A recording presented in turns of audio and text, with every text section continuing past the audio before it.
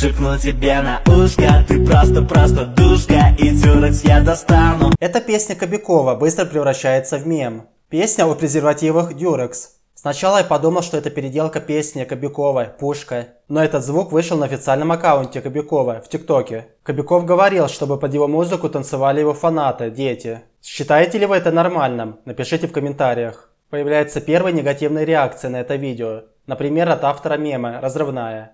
Из своего кармана И просто его лого Не понял, рот еще. Кого ты направишь? Какой стресс? В какой лаве? Что? Стороне какой стране? Есть такие индивидуумы, которые поддерживают эту песню и снимают тиктоки. Например, как Егор Шип. Компания Durex, наверное, подумала, что все люди в ТикТоке будут танцевать с их презервативами. Это, к счастью, не произошло, но презервативы все равно хорошо пропиарили, потому что появилось очень много возмутительных и мемных видосов. Если понравилось видео, поставь лайк и подпишись на канал.